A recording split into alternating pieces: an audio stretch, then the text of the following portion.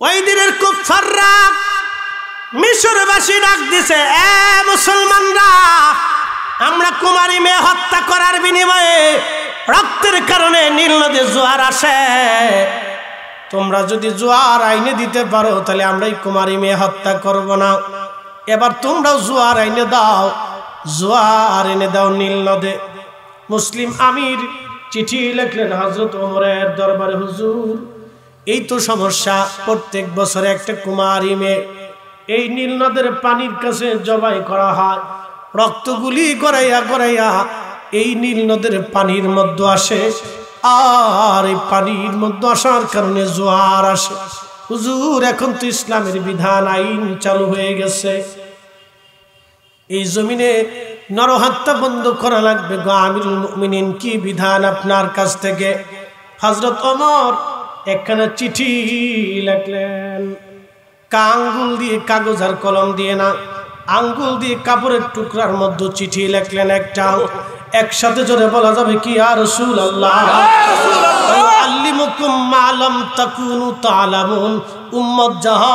আপনি তাহা শিখাইবেন।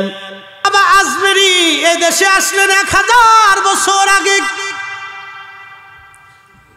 আজকে যারা মাঠে ময়দানে বিরাট বড় বড় লাভ সারে বিরাট বড় বড় লাভ, বেদাত বেদাত, শিরিক শিরিক করে যারা শিক্ষার দুঃখার পারে ওদেরকে জিগাডো বেটা, কয়জন মানুষ তোমরা কালমা পড়ে মুসলমান বানাইছো বলো? আজকে আপনারা দাওয়াত করছেন, হাজার হাজার মানুষ উপস্থিত হয়েছেন বয়ান শোনার জন্য। কিন্তু খাজা বাবা যখন আসছিলেন, একটা মুসলমানও ছিল না, আজান দেওয়ার মতো মসজিদ ছিল না, মাদ্রাসায় পড়ানোর মতো কোনো আলেম ছিল না। কোটি কোটি মুসলমান নাই। খাজা বাবা হাঁটলেন আর দাওয়াত দিলেন, হাঁটলেন আর দাওয়াত দিলেন একা আর দাওয়াতে। সেই দিন দুর্বৃদ্ধর জমানা, মিডিয়া, ইউটিউব চ্যানেল আর পত্র পত্রিকা ট্রেন, বিমান আর কিচ্ছু ছিল না। পায়ে হাঁটলেন আর দাবাত দিলেন। পায়ে হাঁটলেন আর দাবাত দিলেন। খাজা বাবার জবানের ভিতরে আল্লাহ এমন ফয়েজার বরকত দিয়েছিলেন। একই দাবাতে এক কোটি মানুষ কালেমা পরে মুসলমান হয়ে গেল। না না, একসাথে বলেন আল্লাহ আকবার। পাওয়ার আসে না নাই। ওই সময় যদি খাজা বাবা বুকে হাত বেঁধে নামাজ পড়তেন, এক হাজার বছর ধরে দেশের মানুষ বুকে হাত বেঁধে নামাজ পড়তো। খাজা বাবা সেই দিন নাভির নিচে হাত বেঁধে নামাজ পড়ছেন বিদায়। এক হাজার বছর ধরে দেশের মানুষ নাভির নিচে হাত বেঁধে নামাজ পড়ে। আজকে বুকের উপরে হাত বেঁধে নামাজ পড়াইয়া আমার মসজিদে যারা ভেজাল বাঁধাইলো, ওরাই হলো শয়তানের খাজা বাবার জুতা যদি এক পাল্লায় রাখেন আর ইসরায়েলি মৌলবী যদি আর এক পাল্লায় দেন খাজা জুতা আর ওজনের সমান হবে না। আজ করলে কি লাভ শুনলে কি লাভ? লাভ হবে তার আমলে আমলেও লাভ হবে না। নবী প্রেম না থাকলে দিলে নবী প্রেম থাকলে দিলে লাভ হবে কম আমলে। সুপারিশ করবেন নবীর জাহাসরের ময়দানে। জ্ঞানী যারা বুঝে তারা শুধু ইশারায় নাদানের বুঝাইতে পারে আসে কে কোথায়। আর এস সিএস, বিএস এসে সব দলিলে আমার নাম, বাবার নাম, দাদার নাম, তার বাপের নাম সদ্য পুরুষের নাম জমিনের খাতার মধ্যে লেখা আছে। কেউ যদি এসে বলে, জমিন আমার, যেমন আমরা মানব না, রোহিঙ্গারা যদি এসে বলে, দেশ আমার, যেমন আমরা মানব না ইসরায়েল বলে, ফিলিস্তিনের ভূখণ্ড আমার, যেমন মানা যায় না, তেমন এদেশে আব্দুল ওহাব নজদির পাঁচটা গুলো আমরা এসে, আহলে সুন্নতল জামাতকে বেদাতি বললে, আমরা সুন্নিরা মানতে পারব না। ঠিক কিনা? পঞ্চাশ বছর পরে বুড়ি গঙ্গার পানি আর পানি থাকবে কিনা জানি না, ঢাকার শহর থাকবে কিনা তাও জানি না। তবে একটা পরিসংখ্যান দিয়ে যাই, আজ থেকে চারশো বছর আগে বাংলাদেশের মাটির নিচে ভূমিকম্প হয়েছিল। আজকের যে সেন্ট মার্টিন দ্বীপ আপনারা দেখেন, এই সেন্ট মার্টিন দ্বীপ কিন্তু দ্বীপ ছিল না, এটা সমুদ্রের তিন ফিট পানির নিচে ছিল। একটা নয় স্কেলের ভূমিকম্প এসে এই সেন্ট মার্টিন দ্বীপটাকে আমার আল্লাহ পাক তিন ফিট পানির উপরে আল্লাহ আরও উঠাই দিলেন। তাহলে বলেন তো এই ক্ষমতার মালিককে? আমরা আঠারো কোটি মানুষ যদি বাস দিয়ে যায়, ওই সেন্ট মার্টিন ধাক্কায় নিচে যাবে। আরও দুইটা সেন্ট মার্টিন যদি উঠানোর জন্য আমরা নিচ দিয়ে ধাক্কায় উঠানো যাবে। এক ভূমিকম্প দিয়ে ছয় ফিট উপর পর্যন্ত যে আল্লাহ মাটি উঠে একটা দ্বীপ ভাষায় দিলেন। বিজ্ঞান বলে ওই চারশো বছর ধরে বাংলার মাটির নিচে যে প্লেট আছে প্লেটের মধ্যে শক্তি জমতেছে। বিরাট বড় বড় ফাটল। কখন জানি ভূমিকম্প হয়। এই ভূমিকম্পটার শুরু হবে সিলেট থেকে। সিলেটের মাটির নিচ থেকে শুরু হবে সিলেট। এরপরে হবিগঞ্জ, মৌলভীবাজার, ব্রাহ্মণবাড়িয়া কিশোরগঞ্জ, সুনামগঞ্জ, ময়মনসিং, নেত্রকোনা, টাঙ্গাইল, আর ওই গাজীপুর, নারায়ণগঞ্জ, মুন্সীগঞ্জ, নরসিংদী দিয়ে কুমিল্লার একটা অংশ দিয়ে বিরাট বড় একটা ভূমিকম্প হবে। চোদ্দ কোটি মানুষ আক্রান্ত হবে, তিন কোটি মানুষ জায়গায় মারার হবে। এটা হলো বিজ্ঞানের ঘোষণা। পঞ্চাশ বছর আগেও পরেও হতে পারে। আগামীকাল সকালেও হতে পারে, দশ মিনিট পরেও হতে পারে। বিজ্ঞান বলে যে কোনো সময় হতে পারে। চারশো বছর ধরে ভূমিকম্প হয় হয় হয় না, হয় হয় হয় না।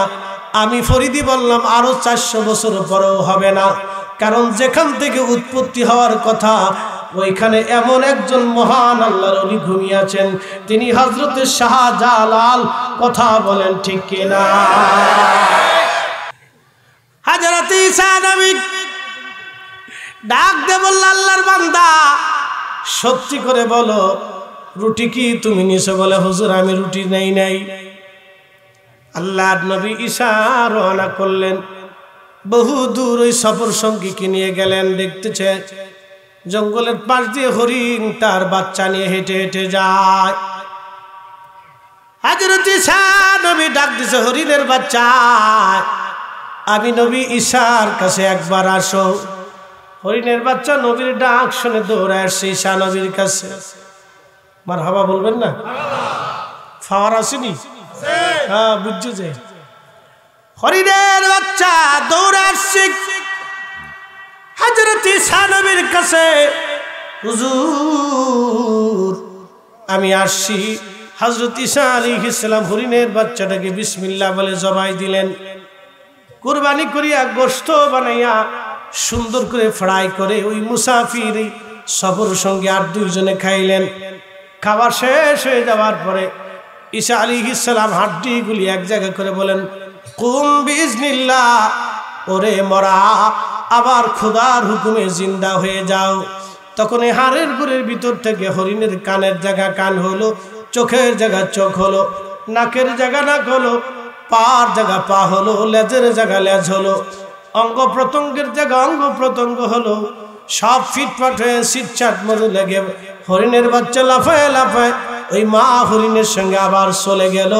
চিৎকার মেরে জোরে বলেন, আল্লাহ আকবার।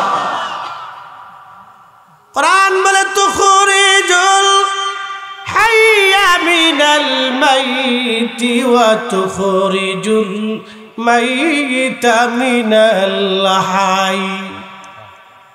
মরা থেকে জিন্দা বের করি, জিন্দা থেকে মরা বের করি, মরা থেকে জিন্দা বের করি, জিন্দা থেকে আমি মরা বের করি।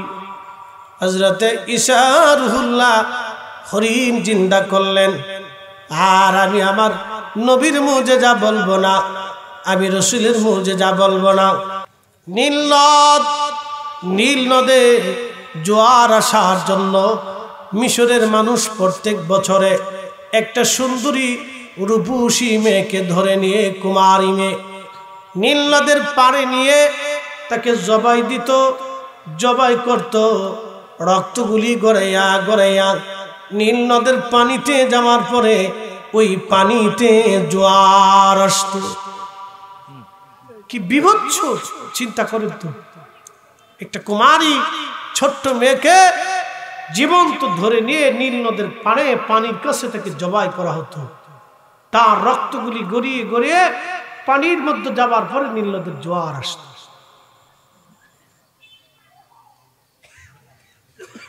এই স্থান থেকে মানুষকে মুক্তি দিল কে? তিনি আমাদের নবী। কথা ঠিক নেবে ঠিক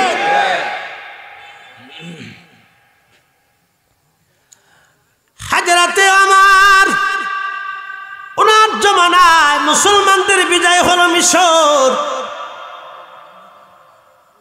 ঢোল ডগর পিটাইয়া হাজার হাজার মানুষ নাচতে, গাইতে গাইতে কুমারী মেয়েটাকে নিয়ে যাচ্ছে জবাই করার জন্য নীল নদের পারে।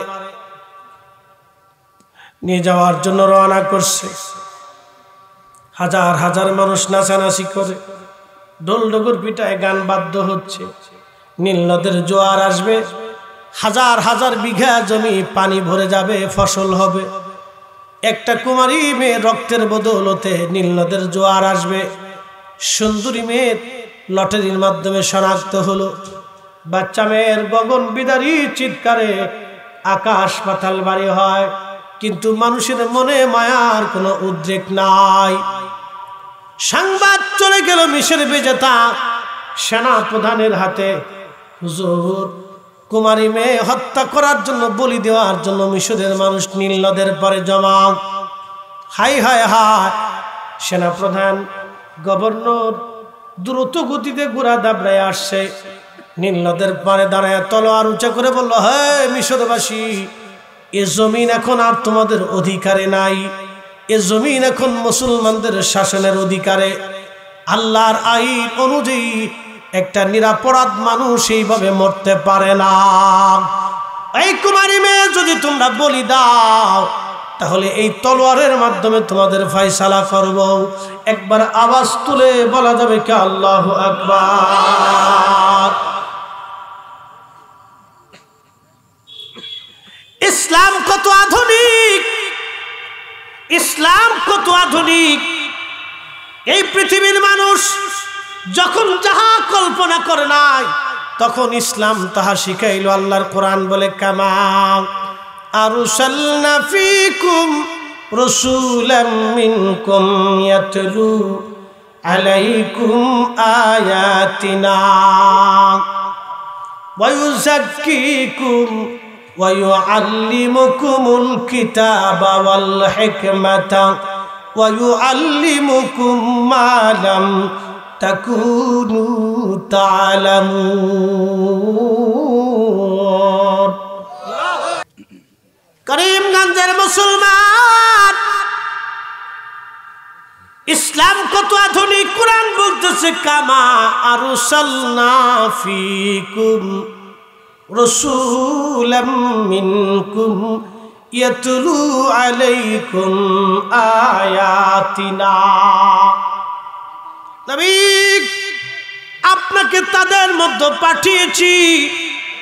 ও নবী, আপনারে পাঠাইছি। কোরআনে আল্লাহ বলেন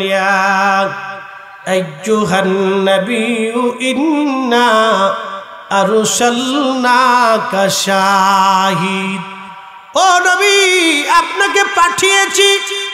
কোরআনে আল্লাহ আরও বলেন, ওমা আর সাল্লাকা ইল্লা রহমাতাল্লিল্লালামিন। নবী গো, আপনাকে পাঠিয়েছি। করিমগঞ্জবাসী, কথাগুলি শুনে যান, আল্লাহর কোরআন বলে ওয়াসাক্কিকুম ওয়ায়ুআল্লিমুকুমুল কিতাব। আপনি নবী উম্মতকে কিতাব শিক্ষা দিবেন। ওয়ায়ুআল্লিমুকুমুল কিতাব ওয়াল হিকমা হিকমত আপনি শিক্ষা দিবেন জ্ঞান প্রজ্ঞা জ্ঞান বিজ্ঞান কোন জ্ঞান বিজ্ঞান আপনি শিখাবেন ويعلمكم ما لم تكونوا تعلمون কোরআন থেকে বলতেছি বাইবেল থেকে না বাজান ওরা কারা আমার নবীকে ইল্লিটারেট বলতে চায়, ওরাই হলো জমানার ইহুদির দালাল।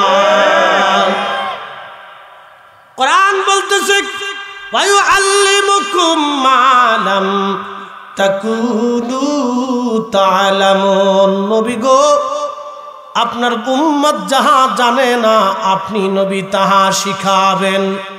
এবার কি শিখাই গেলেন হজরত ওমরকে? ঘটনাটা বলে আপনাদের সামনে তুলে ধরি। কি শিখাইলেন আমার নবী ওমরকে? উম্মতকে কি শিখাই দিয়ে গেলেন? আজকে শুনিয়া যান, নীল নদের জোয়ার কীভাবে আনা যায়? হাজার হাজার মানুষ দাঁড়ানো ওই দিনের কুফাররা মিশরবাসী ডাক দিছে, এ মুসলমানরা আমরা কুমারী মেয়ে হত্যা করার বিনিময়ে রক্তের কারণে নীল নদী জোয়ার আসে। তোমরা যদি জোয়ার আইনে দিতে পারো, তাহলে আমরা এই কুমারী মেয়ে হত্যা করব না। এবার তোমরাও জোয়ার আইনে দাও। জোয়ার এনে দাও নীল নদে। মুসলিম আমির চিঠি লিখলেন হজরত ওমরের দরবারে, হুজুর, এই তো সমস্যা। প্রত্যেক বছরে একটা কুমারী মেয়ে, এই নীল নদের পানির কাছে জবাই করা হয়। রক্তগুলি গড়াইয়া গড়াইয়া এই নীল নদের পানির মধ্যে আসে। আর এই পানির মধ্যে আসার কারণে জোয়ার আসে। হুজুর, এখন তো ইসলামের বিধান, আইন চালু হয়ে গেছে। এই জমিনে নরহত্যা বন্ধ করা লাগবে। গো আমিরুল মুমিনিন, কি বিধান আপনার কাছ থেকে? হজরত অমর একখানা চিঠি লিখলেন। আঙ্গুল দিয়ে, কাগজ আর কলম দিয়ে না। আঙ্গুল দিয়ে কাপড়ের টুকরার মধ্যে চিঠি লেখলেন একটা একসাথে জোরে বলা যাবে কি আর রসুল আল্লাহ উম্মত যাহা জানেন আপনি তাহা শিখাইবেন। হাজরাত আমার চিঠি লিখলেন আঙ্গুল দিয়ে কাপড়ের টুকরার ভিতরে। চিঠি কানা লেখার পরে ভাস করলেন। সুন্দর করে ভাস করে চিঠি। চিঠির যিনি বার্তাবাহক তার হাতে দিয়ে বললেন, শোনো, এই চিঠিখানা নিয়ে গভর্নরের হাতে দিয়ে বলবাং, আমিরুল মুমিনের নির্দেশ, চিঠিখানা যেন নীল নদের পানির মধ্যে ছেড়ে দিয়ে চলে আসে। বাকি চিন্তা তোমাদের আর করতে হবে না। মুসলমান, হাজরত আমর রাদিয়াল্লাহু তাআলা চিঠিখানা দিয়ে চলে গেলেন গভর্নর। চিঠি চলে আসলো মদিনার থেকে গভর্নরের হাতে। ঘোষণা দিলেন, আমরা সবাই খলিফার পক্ষ থেকে চিঠি আসছে। চিঠিখানা নিয়ে নীল নদের মধ্যে সেরে দেব। কুমারী মেয়ে হত্যা করা লাগবে না। এই চিঠি নদীর মধ্যে সেরে দিলে জোয়ার আসবে। সবাই হতবাক, এটা কি করে সম্ভব? দেখা লাগবে। গভর্নর মুসলমান নিয়ে বহু মানুষ চলে গেল নীল নদে নীল নদের পানির মধ্যে নেমে গভর্নর এই পানির মধ্যে নীল নদের পানির মধ্যে চিঠিখানা ছেড়ে দিলেন। চিঠিখানা ছেড়ে দিয়ে চলে আসলেন। আজকে চোদ্দশো বছর পার হলো, চোদ্দশো বছর পার হলো নতুন করে জোয়ার আনার জন্যে কোনো কুমারী নারী হত্যা করা লাগে নাই। নতুন করে আর কোনো দিন চিঠি দেওয়া লাগে নাই নীল নদে ওই যে জোয়ার আসলো, নতুন করে জোয়ার আনার জন্য আজ পর্যন্ত নতুন কোনো সিস্টেম চালু করা লাগে নাই। চিৎকার মেরে জোরে বলা যাবে আল্লাহ আকবার। আল্লাহ তার রসুলকে পাঠিয়েছেন। কারণ কি? উদ্দেশ্য।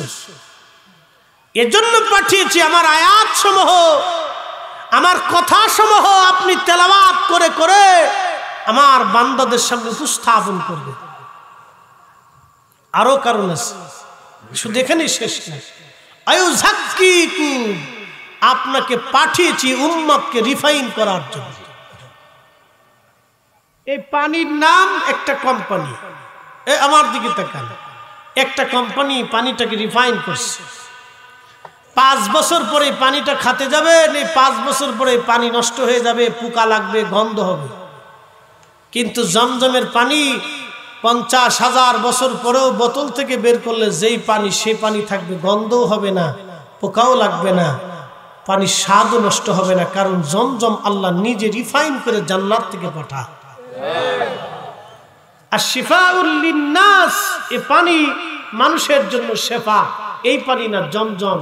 এই জন্য জমজম দাঁড়িয়ে পান করতে হয়। অ্যাটেনশন আমার দিকে তাকাবেন। বেশি লম্বা করে, রাত্র করে কষ্ট দেব না। মূল কথাটা আপনাদের সামনে উপস্থাপন করতেছি। আমি এত বেশি দলিল দিই না। আল্লাহর কালামের পরে কোনো পৃথিবীতে কোনো দলিল হতে পারে না। আসমান ভাঙবে পৃথিবী পুড়ে যাবে সাগর শুকিয়ে যাবে। আল্লাহর কোরআন কখনো ডান বাম সামনে পিছে চেঞ্জ পরিবর্তন পরিবর্তন সংযোজন বিয়োজন হবে না। কথা বলেন ঠিক না ঠিক। কোরআন বলতেছে আপনি তাদেরকে পবিত্র করবেন। কে পবিত্র করবেন? নবীকে বলা হচ্ছে। আপনি পবিত্র করবেন। এই পানির মধ্যে যদি পেশাব থাকে, তাহলে এই পানি দিয়ে কিন্তু শরীর পাক হবে না। এই পানি নিজে পবিত্র, যার কারণে অজু করলে মানুষ পবিত্র হয়। আমার নবী নিজে পবিত্র বিধায় উম্মতকে পবিত্র বানানোর জন্য আসছে। এই আমরা সুন্নিরা বলি, নবী পাক। কেউ যদি রসুলকে আইব যুক্ত মনে করে, ত্রুটি যুক্ত মনে করে, নিজের মতো মনে করে অল্লাহি বিল্লাহি ওর ইমান নষ্ট হয়ে যাবে। ও বাইতুল মুকাররমের খতিব হলেও বা কাজ হবে না। বিরাট বড় লম্বাদারি হলেও ইহুদি আর ওর মধ্যে কোনো তফাত হবে না। কথা কর ঠিক করে এত দলিল লাগে? দলিল যারা বুঝে তারা অল্পতেই বুঝে। কোথায় লিয়াকতালি কোথায় জুতার কালি? আতা সাতা কত সাত দিন গোসল না করলে শরীর থেকে পাড়ার গন্ধ পায়। হেতাই কে রসুল আমার মতো। সি সি সি লজ্জা করা উচিত। তিন দিন মেশাক না করলে মুখ থেকে পায়খানার গন্ধ আসে। হে বেড়া বলবি কে রসুল আমার জুতা দিয়ে বাইরিলেও হক আদায় হয়। সি লজ্জা করা উচিত তো। আরে রসুল করিম সাল্লাহ আলী সাল্লাম আর রুমাল ছিল। এখন তো আমরা টিস্যু ইউজ করি, রুমাল। ধরেন একটা রুমাল।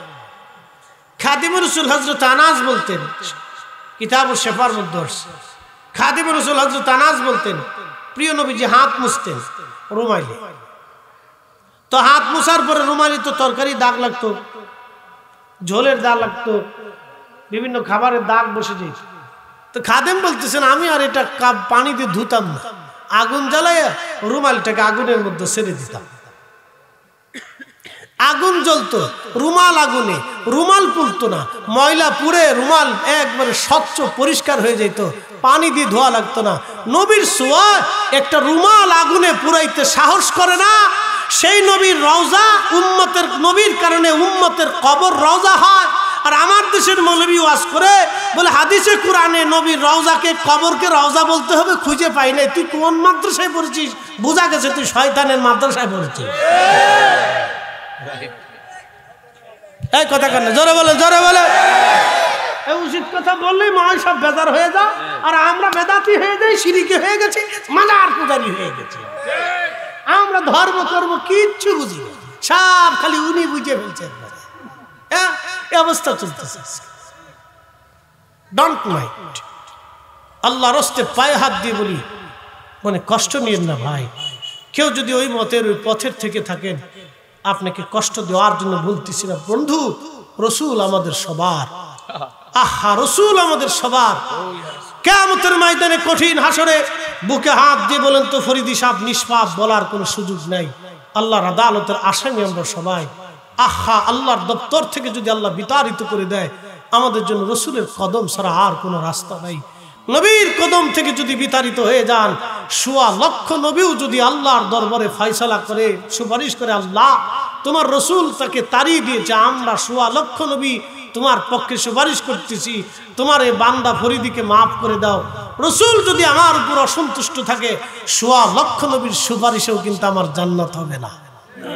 হ্যাঁ ঠিক আসতে বলেন কেন? জোরে বলেন। এই কথা মনে রাখবেন সারা জীবন। এক বাক্যে এক কথায় বলে দিয়েছি। সারা জীবন মনে রাখবেন, এবার রসুলের পক্ষে থাকবেন না, বিপক্ষে চলে যাবেন, ইচ্ছা আপনার। ওটা আপনার একান্ত ইচ্ছা, থাকলে লাভ, না থাকলে মহাবিপদ। দুনিয়ার বিপদ থেকে বাঁচতে পারবেন, কিন্তু হাসরের বিপদ থেকে বাঁচার মতো রাস্তা নাই। এটা অনেক বড় কঠিন, বিরাট বড় কঠিন, কত বড় কঠিন। তারুজুল মালাইকাতু ওয়ার রূহ ইলাইহি ফি ইয়াউমিন কানা মিকদারুহু 50 আলফ সানা। কোরআন বলতেছে, দুনিয়ার পঞ্চাশ হাজার বছর এক জায়গা করলে যত বিরাট হবে, হাসরের মাঠের একটা দিন হবে তত বিরাট।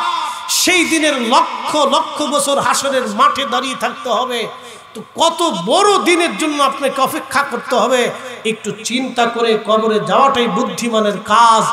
এ করিমগঞ্জের মুসলমান, আপনাকে বলছি, ভালো করে বুঝে যাবেন, যেই মাটির উপরে আজ বসে আছেন, আগামী দিন আপনার, আমার এই মাটির নিচে ঘর হবে। যেই মাটির উপরে বসে আছেন, আগামী দিন মাটির নিচে ঘর হবে। করোনা এসেছিল, বহু বাবা করোনার সময় মারা গেছে, সন্তান লাশ, বাবার লাশ দেখতে যায় নাই করোনার ভয়ে। আরে সন্তান যদি করোনার ভয়ে বাবার লাশের পাশে না যায়, তাহলে সেই হাসরের মাঠটা কত কঠিন হবে, সেই কবরটা কত ভয়াবহ হবে। আপনাকে যিনি দেখতে আসবে তিনি নবী, যিনি আপনাকে দেখার জন্য আসবে তিনি নবী, যিনি আপনাকে ভুলবে না তিনি নবী। হাসরের মাঠে যিনি আপনাকে তাড়িয়ে নিয়ে তরিয়ে নিয়ে টেনে নিয়ে হাউজে খাউসারের পানি পান করাবে তিনি নবী। বাঁচলেও নবীর জন্য, মরলেও নবীর জন্য, পক্ষ নিলেও নবীর পক্ষে কেউ থাকলেও নবীর পক্ষে, না থাকলেও নবীর পক্ষে, স্ত্রী চলে গেলেও নবীর পক্ষে, থাকলেও নবীর পক্ষে, সন্তান জুদা হলেও নবীর পক্ষে, প্রতিবেশী দুশ্মন হলেও নবীর পক্ষে, রসুলের পক্ষেই হাত উঠা করে বলেন, ঠিক তবে ঠিক?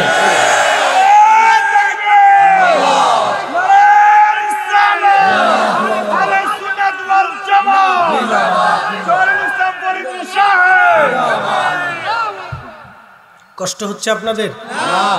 এক বাক্যে এক কথায় বোঝানোর চেষ্টা করছি। ও আজ ফাঁক ফুক করে আমার কাছে নাই। সময় নষ্ট করি না, যা বলি কাট সাট কথা ক্লিয়ার বলার চেষ্টা করি। বাপ জীবনের এত সময় হাতে নাই, খুব অল্প সময় নিয়ে আমরা পৃথিবীতে আসছি। সামথিং থোড়া থোড়া। একটা লোক উঠবেন না দোয়া সারা বহু মা কবর থেকে দোয়ার প্রতীক্ষায় বসে আছে। বহু দাদা, বহু দাদি, বহু নানা, বহু নানি, বহু ভাই, বহু বোন কবর থেকে দোয়ার প্রতীক্ষায় বসে আছে। আহা, দোয়ার জন্য তারা কবরের উপরে রুহুগুলি এসে বসে বসে কাঁদতেছে। আমার খোকা মাহফিলে গেছে, আমার সন্তান মাহফিলে গেছে, আমার মেয়ে মাহফিলে গেছে, আমার ছেলে মাহফিলে গেছে, আমার নাতি মাহফিলে গেছে। ওরা বুঝে আজ দোয়া করবে। এ এই সমাজ থেকে দোয়া বন্ধ করে দেওয়ার জন্য, ইসলাম থেকে দোয়া মুছে দেওয়ার জন্য ইহুদিদের বিরাট বড় চক্রান্ত। হায়াত যতদিন হবে জীবন যতদিন হবে দোয়া ততদিন চলবে। কথা বলে ঠিক কিনা? নামাজের পরে দোয়া মাহফিলের পরে দোয়া কোরআন খতম দিয়ে দোয়া ঘরে ঘরে মিলাদ পড়িয়ে দোয়া বান্দারি সাল সোয়াবের দোয়া চলবে চলবে বন্ধ করা যাবে না। ইহুদিরা চায় দোয়া বন্ধ হয়ে যাক আমরা চাই দোয়া চালু থাকবে জমিনে। কথা বলে ঠিক না বেটে উপস্থিতি। একটা লোক উঠবেন না। চুপচাপ বসে থাকবেন। বেশি লম্বা করে কষ্ট দেব না। সামথিং আল্লাহর কোরআন বলতেছে, হুজুর, আপনি পবিত্র করার জন্য গেছেন। তাহলে বলেন, নবী পাক না না পাক? নবীর গুণা আছে? ভুল আছে? কোরআন বলতেছে, আমি বলি এখন আমার দেশে যারা বুকে হাত বেঁধে নামাজ পড়ে, এদের মৌলবীদের ওয়াজ হলো, মোহাম্মদ সাল্লাহ সাল্লাম আমাদের মতো মানুষ, এই জন্য মোহাম্মদের জীবনে ভুল ছিল। কি বুঝলেন আপনারা? বিরাট বড় সাইকে মাদানি সাইকে আজারি সাইকে মাক্কি ঘণ্টা মুড়ি দিয়ে ইসরায়েলের পক্ষ নিছে। সেদিন দেখতেছি ওয়াজে যাবেন হামাস? হামাস হলো ইসরায়েলের তৈরি। আমাকে তোরে পাইলে কায়দা মতো জুতা পয়সে বাইতে দিতাম ওই মসজিদের ভিতরে দাঁড়ায় ওয়াজ করতেছে জুমার খুদ্বাকে জানেন হামাস হচ্ছে ইসরায়েলের তৈরি করা ছিয়াত্তর বছর ধরে ওরা ইসরায়েলের পক্ষে যুদ্ধ করতেছে। কত বড় শয়তান? ছিয়াত্তর বছর ধরে যারা ইহুদি, দাজ্জালের সৈনিকদের সাথে জেহাদ করে চলে যাচ্ছে, ওরা বলে ইসরায়েলের দালাল ও শয়তান মৌলবী মসজিদে দাঁড়ায় দাঁড়ায় ওয়াজ করে। ওরে পাইলে কায়দা মতো জুতা কষে মেরে দিয়ে দরকার ছিল। ওই ইহুদির দালাল। হ্যাঁ আসতে বলেন কেন, জোরে বলেন। ও কোকা কোলার এজেন্ট কোকা কোলা চিনছেন? ইসরায়েলের পণ্য। যদ্দুর পারেন খালি খাবেন। বাড়ি কার্টুন কার্টুন কিনে নিয়ে খাবেন খালি। যত খাবেন তত ইসরায়েলে টাকা চলে যাবে। আর ও টাকা দিয়ে আপনার ফিলিস্তিনি ভাইকে গুলি করে মারবে। এবার যদ্দূর পরেন পেপসি আর কোকা কোলা নেসলে কোম্পানির মাল খান ঘত ঘত ঘত ঘত করে গিলে গিলে খাবেন? বাস খাবেন খাবেন, ইসরায়েলের পণ্য খাবেন। এটা আমাদের জন্য জেহাদ। কথা বলেন ঠিক না বেটি? এটাও জেহাদ। কোকা কোলা ফান্টা পেপসি নেসলের চকলেট আছে। বাচ্চাদের খাবার আছে, এগুলি খাবেন না। কিনবেন। দোকানদার, ভাইরা যারা আছেন, বেচবেন না। অন্য প্রোডাক্ট বেছেন আপনার দুই টাকা লস হোক। ব্যবসা কম হোক। কিন্তু ইমানের পরিচয় দিবে কেয়ামতের ময়দানে আল্লাহ যদি জিজ্ঞেস করে, কি করছিল? বলে, আল্লাহ জিহাদ করতে পারি তোমার বাইতুল আকসার জন্য ইহুদির পণ্য বয়কট করছিল। কি কথা কর না কেন? ব্যাংক চিনিনি আপনারা? ব্যাংক। ব্যাংকে যখন মুতে, তখন এটি কি একবারে ফায়ার সার্ভিসের মতো মুতে? পুরে মুত। তো ব্যাঙে ফাঁসাটারে ঘুরাইয়া ইব্রাহিম আলাইসালামের আগুনের দিকে তাকায় পেশাব মারতেছে। আল্লাহ ডাক দেখে বেগ, কি করো? বলে, আল্লাহ, মুতি। তোমার এই মুতে কি আগুন নেবে? না, তা নিত না। কেন মুতো? বলে কেমতের ময়দানে তুমি যদি জিগাও, তো বলব আমি পেশাব ছেড়ে দিয়ে নিভানোর চেষ্টা করছি না। একসাথে বলবেন, আল্লাহ আকবার। আমরা তো ব্যাঙের তরিকেও আসতে পারি। কথা কন না কেন? গিরগিটি ছিলেন রক্ত চুষা। আমাদের দেশে কেউ কেউ রক্ত চুষা, কেউ কেউ টিকটিকি, গিরগিটি, টিকটিকি যাই কর এটার ফাইলে বাটাম চালান দিই ওরে ফিটাইতে ফিটাইতে ওর জান শেষ করে ফেলবে মাইরে ওরে অস্থির করে ফেলবে। ঝাঁটা দিয়ে, লাঠি দিয়ে, যা দিয়ে পারেন, জুতা দিয়ে, কায়দা মতো ফিটাবে বলে, হুজুর, কেন ফিটাইতে গেলেন সহি বখারিতে আসছে। এই গিরগিটি ইব্রাহিম আলাইসাল্লামের আগুনের দিকে তাকে ফুয়াচ্ছে হ্যাঁ আল্লাহ ডাকবে, কিরে? ফুদিস কে? বলে, আল্লাহ ফু দিচ্ছি, আগুন যাতে বেশি করে জ্বলে। এটার ফুয়ে কি আগুন জ্বলে? জ্বলতো না, কিন্তু ফু মারতেছে। হ্যাঁ আল্লাহ বললেন, গিরগিটি, তোর ফুতে তো আর আগুন জ্বলতো না। আল্লাহর নবী বলেন ও আল্লাহর খলিলের দুশ্মন, ও আমার উম্মত, যতদিন বেঁচে থাকবা, ওর গিরগিটি ফাইলি কায়দা মতো বাটাম চালান আমার দেশে এরকম কিছু গিরগিটি আছে যারা রসুলের শান, ইজ্জত, আজমতে ফু মারে। কি কথা কন না কা? নবীর শান, ইজ্জত, আজমতের বিরুদ্ধে ফু মারে। ওরা হলো মানব রূপী গিরগিটি। যারা আমার নবীর জীবনের ভুল ধরে, ওরা হলো মানব রূপীর গিরগিটি গিরগিটি, গিরগিটির দল। কথা কন ঠিক না বেঠে? আজকে গিরগিটি চিনি দিয়ে গেলাম তিনি আমরা বাইরে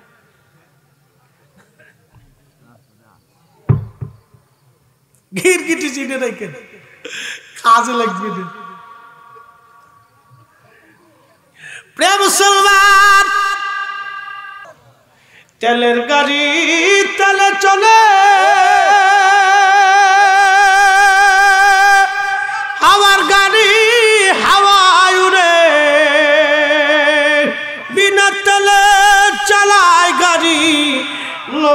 সুলাইমান, আমরা সেই মুসলমান, আমরা সেই মুসলমান।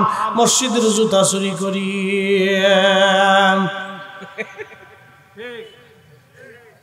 কথা বলছেন নাই কি মুসলমান, মসজিদের জুতা চুরি করি? আমার মনে পড়ছে, ওই আমি তখন মাহফিলে দুইশো টিয়াও পাইতাম। হ্যাঁ আগের জমানা। এ আজকের কথা না।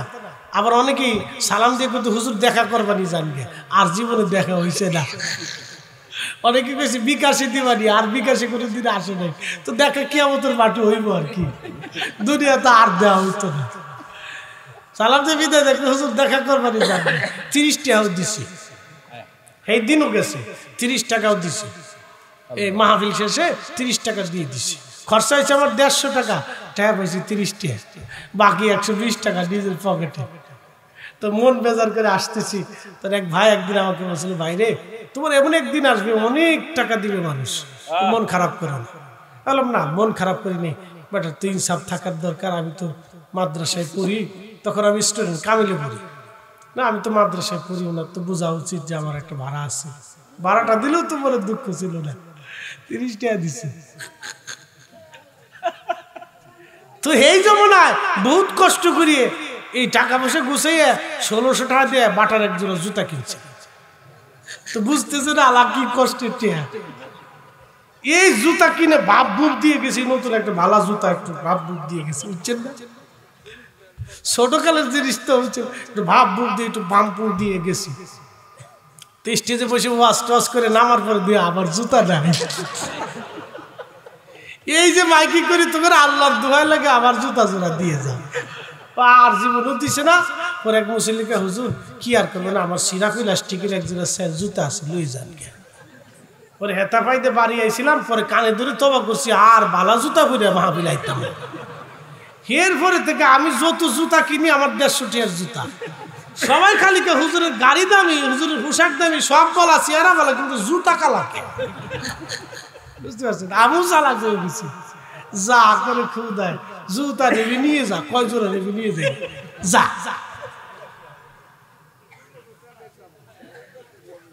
বুঝতে পারছেন? অবস্থা খুব ভয়াবহ। যে দেশে যে বাম সেইভাবে নৌকা বানায়, বিপদ আছে।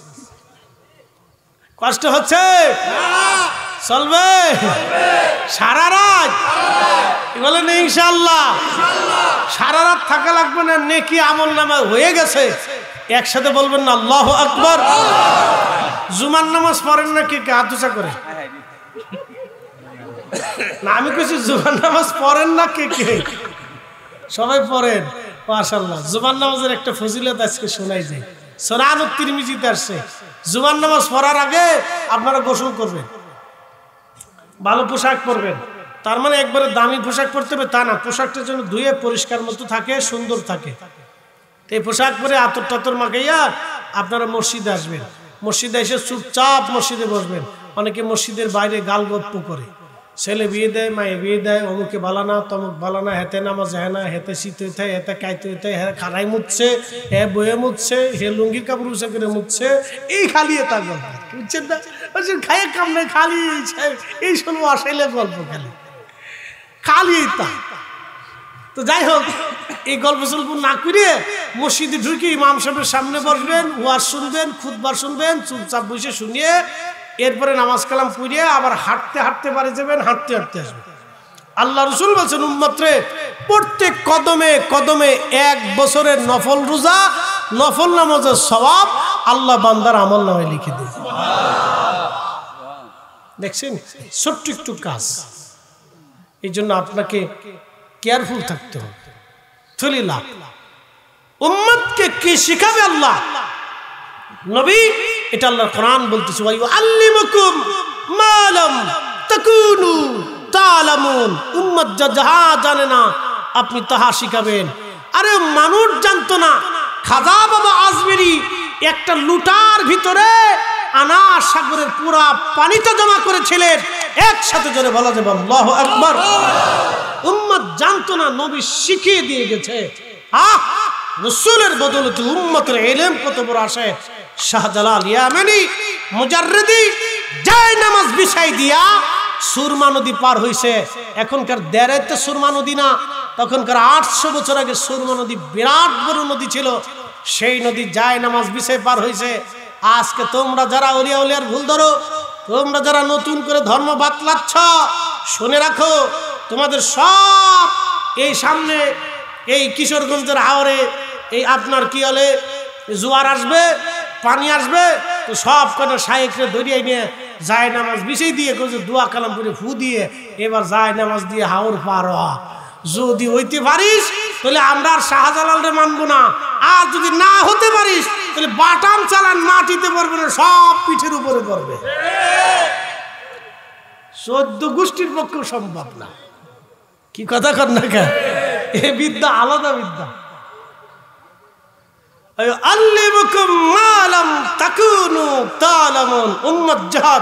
না, আল্লাহর নবী শেখানোর জন্য আসছে। সব উম্মতকে নবী শিখান না। হজরত চিঠি লেখছে। বলছে যাও গভর্নরকে বলো পানির মধ্যে যেন ছেড়ে দিয়ে চলে আসে। কল্লাফাতে পাওয়ার আসেনি গো? হ্যাঁ। তিনি তারাবির নামাজ চালু করছিলেন বিশ টাকা আজকে বাইশে থাকলে পিঠে চামড়া উঠে ফেলতেন পিঠে। কথা কর না কেন? জোরে বলেন।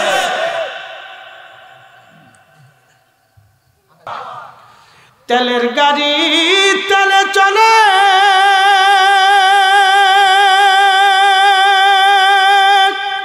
হাওয়ার গাড়ি হাওয়ায় উড়ে। বিনা তেলে চালায় গাড়ি, নবী সুলাইমান, আমরা সেই মুসলমান, আমরা সেই মুসলমান আল্লাহ সল্লে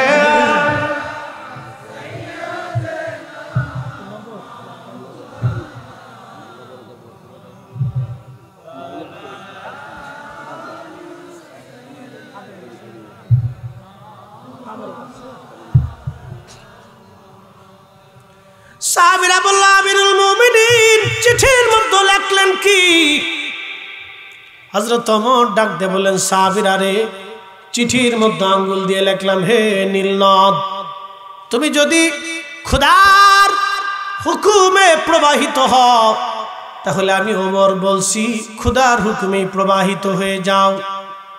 আর যদি খুদার হুকুমে প্রবাহিত নাও হয়ে নীলনদ তাহলে তুমি তোমার ইচ্ছার উপরে আমি ছেড়ে দিলাম। চিঠিখানা লেখার পরে ছেড়ে দিয়ে আসলো। চিঠির ভাষা নীলনদকে যিনি বুঝাইলেন, তিনি আমার আল্লাহ। অয়ু আল্লে মুকুম তাকুনু তালামুন। ওমরের বিদ্যা যদি এমন হয় গো, না জানি রে রহমতের নবীর বিদ্যা কেমন ছিল। ওই নবীর বিদ্যা নিয়ে, ওই নবীর এলেম নিয়ে, নবীর শান নিয়ে যারা প্রশ্ন তোলে, ওরাই বর্তমান শয়তানের দালা বলেন ঠিক কিনা? ওরা চা জমিন থেকে রসুলের দুরুদ বন্ধ হয়ে যায় আর আমরা চাই নবীর মিলাদের মাধ্যমে ঘরে ঘরে দুরুদ চালু থাকুক। চলবে? নবীর দুরুদ সালাম চলবে? ঘরে ঘরে চলবে। ওরা ফতোয়া দেয়, এরা সব পেট পূজারি হুজুরদের, এই সিস্টেম এরা মিলাদপুরে পয়সা কামাই করে। এমন ভাব লইছে যে কুরবানির সামনার উন্ডা নেয় না। ফেতরার টাকা, সৎকার টাকা উন্ডা নেয় চাই আমি তো খতিব, আমার মসজিদে চার পাঁচ হাজার মুসল্লি প্রত্যেক জুমাতে হয়। হাউজিং এর মসজিদের খতিব আমি, তো মনোযোগ দিয়ে। তো ওই মানুষ অনেকেই স্লিপ লিখে কিছু মেয়ের বিয়ে, ব্যবসা বাণিজ্য ভালো না, অসুখ বিসুখ, কিছু কসকসার টাকাও সাথে দিয়ে দেয়। তো ওটা দেওয়ার পরে শরীরে একটু হিট হয়। মনে কিছু নিয়েন না, যেটা বাস্তবটা বলতেছি। আর কিছু না থাকলে দুয়াটা মরা মারা কিছু দেয়, আবার নাম ধরে ঢাকার সিস্টেম হলো, নাম ধরে ওরে বেহস্ত পাঠাইতেই হবে। যদি নাম ধরে দোয়া না করে টাকা ফেরত। বিপদ আছে। হাদিয়া যে দিব, তোর নাম ধরে গোষ্ঠী শুদ্ধি একবারে বেহস্ত পাঠাইতেই হবে। এটা ঢাকার সিস্টেম। সেই দিনে একজনে দুই হাজার টাকা এক হুজুরে দিছে। আমার কাছে বিচার আইছে কি জ্বালা জ্বালা মাহফিলে দিছে। দেওয়ার পরে সেই হুজুরে আবার হে নাম ধরে দোয়া করে নাই পরে আমার দুই হাজার টাকা ফেরত দিবার কর কি মুসল্লি মুসল্লি ওরে মুসল্লি কারে? আমি হাসতে হাসতে বাসি না আর খোদে কোন বিচার করব এইটা? জীবনে ফিকার মশলা করছি তুই এই মশলা তো করি নাই করি জ্বালার জ্বালা।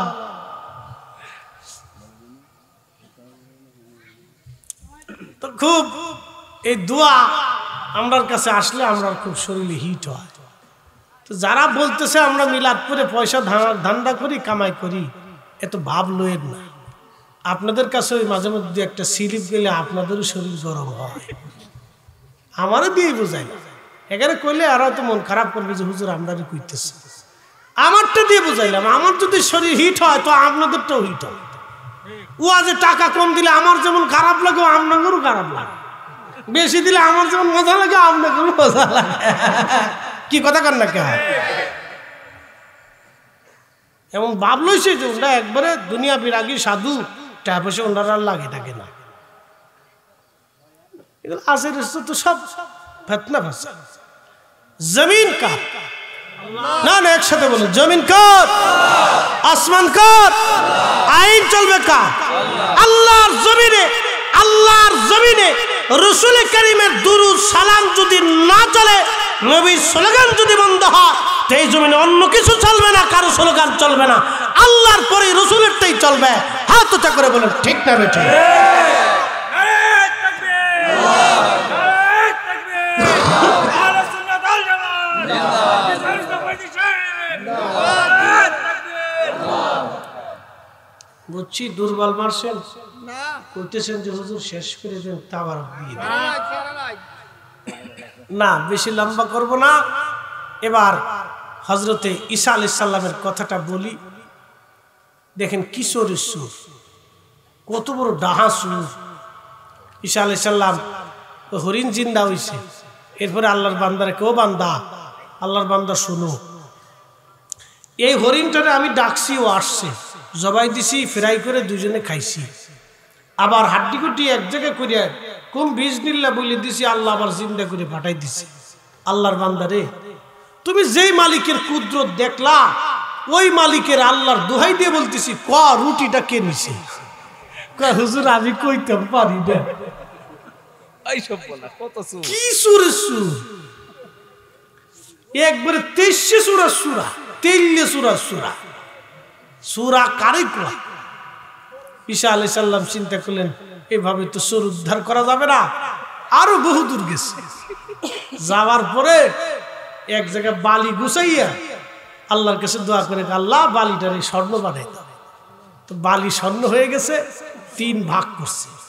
এক ভাগ নিজে আর একবার চুরি দিছি। তুমি এক ভাগ নাও, এক ভাগ আমি নিলাম। আর বাকি বাদ বাকি যে এক ভাগ আছে ওটা যেই বেটা রুটি চুরি করছে, হেরে দেব।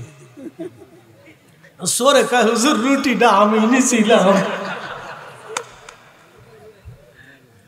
দিল্লি সুরা সুরা।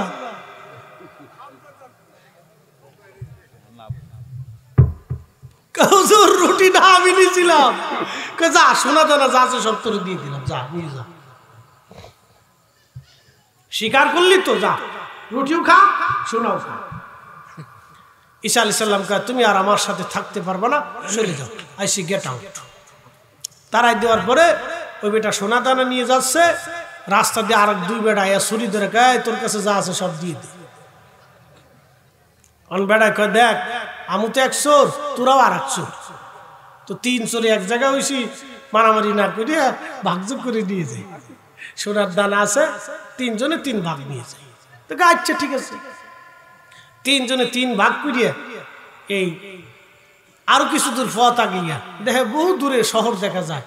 তো তিনজনে বসে গাছের নিচে বসে সিদ্ধান্ত করে এক কাজ কর, তুই একজনে যা, বাজার থেকে রুটি টুটি নিয়ে আমরা খাওয়া দাওয়া শেষ করিয়া একটু গল্প গুজব করে ভাগযোগ করে নিয়ে চলে যাবা। আচ্ছা ঠিক আছে। তো যে যা, রুটি আনার জন্য, হে মনে মনে চিন্তা করে, আমি রুটির মধ্যে বিষ বিষাবো ওগার দুইজনকে বিষ খাওয়াইয়া সোনা যা আছে সব লয়ে যাব সোনা যা আছে, আমি সব নিয়ে যাব। সোনা যা আছে, আমি সব নিয়ে যাব। স্বর্ণ যা আছে, আমি সব নিয়ে যাব। আরে বাকি দুইজন বসে বসে চিন্তা করে, ওরে, ও রুটি আনতে গেছে, ওরে মাই দিয়ে, আমরা ওর সোনা দানা ভাগ করে লিয়ে যাব। আল্লাহ অতি লোভ, পাপে মৃত্যু। বাপ মানুষ ঠকায়, কেউ জিততে পারে না, সে নিজে ঠকায় কতক্ষণ ঠিক কিনা? আজকে আমার দেশে যারা ওই ভাতিজা, ভাই মারা গেলে এতিম ভাতিজার জমি জমা অনেক সাসারা দিবার চাই না। এই, ঠিক আসতে বলেন কেন? জোরে বলেন। অনেক মনের জমি ভাই বুঝাই দেয় না। আজকে নিস, কালকে নিস, পরের দিন নিস পরে কইতে কইতে ভাই মরে গেছে। ও কবরে যায় বুঝাবে। প্রতিবেশী প্রতিবেশীর হাক বুঝাইতে চায় না। এরকম চলতেছে আমার সমাজ। আহা, কি করে আপনাকে বুঝাবো? সন্তান বাবাকে গালি দেয়, সন্তান বাবাকে ধমক দেয়, সন্তান মাকে ধমক দিচ্ছে। বিয়ে হয়ে গেছে ছয় মাস, আলাদা হয়ে জুদা হয়ে বাবার চেহারা পর্যন্ত দেখতে চায় না। ছি, তোরা কুত্তার চাইতে নিকৃষ্ট। সুরের একটা ধর্ম আছে তো তোর ধর্ম কোনো ধর্ম নাই। সুরের একটা কৃতজ্ঞতা আছে। যে বাপটা চল্লিশ বছর আমার খাওয়াইছে, আজকে আমি বাপ থেকে জুদা হয়ে যাচ্ছি। বাবার চেহারা দেখি না, বাবারে খাইতে দিইনি বৃদ্ধা আশ্রমে এক বৃদ্ধের কথা শোনার পরে আমার চোখে পানি চলে আসলো, রমজানে বসে রয়েছি। তারাবির নামাজ পড়ে মাঝে মধ্যে এগুলি দেখতাম যে দেখি দুনিয়ার হালচাল কেমন। এক বৃদ্ধ বলতেছে, চারটা সন্তান আমার, টুপি আছে দাঁড়িয়ে আছে, নামাজ কালাম পরে বৃদ্ধ লোকটা। বলতেছে, বাবা, চারটে সন্তান আমার। আমার ছোট্ট পাতিলে চারটে সন্তানের ভাত হইতো। আজকে চার সন্তানের পাতিলে আমার মতো বৃদ্ধ বাবার ভাত হয় না। আল্লাহর কসম, আমি সহ্য করতে পারিনি। কথাটা শোনার জন্য ঝরঝর করে চোখের পানি আসছে। দুনিয়া কার জন্য করি? দুনিয়া কার জন্য পরিশ্রম? আগে বুঝতাম না, এখন বাপ হওয়ার পরে বুঝি। হ্যাঁ যুবক, আপনাকে বলতেছি। হ্যাঁ বন্ধু, আপনাকে বলতেছি। আল্লাহি বিল্লাহি, আসমান ওয়ালার কসম, তো জমিন ওয়ালার কসম, তো হায়াত দেনে ওয়ালার কসম। মৃত্যু বলার কসম করে বলতেছি, মক্কার ইমাম আর মদিনার ইমাম হলেও কাজ হবে না। যদি সন্তানের প্রতি পিতামাতা অসন্তুষ্ট থাকে, হাজার বছর ইব্রাহিমে নামাজ পড়লেও জান্নাত হবে না। কথা ঠিক না কেন বান্দ দালান ঘর? মনামার কেন বান্দ দালান ঘর? একজন ব্যক্তি বলবেন হুজুর, আগামী বছর মাহফিলের জন্য পোস্টারের খরচাটা আমি দিয়ে দিব একজন। মাত্র পাঁচ মিনিট। আমার জনাব মৌলানা মুফতি মিসবাউর রহমান কাদরি ভাই তিনি আসছেন। রফিকি ভাই আসছেন। সবাই বলি মার মারহাবা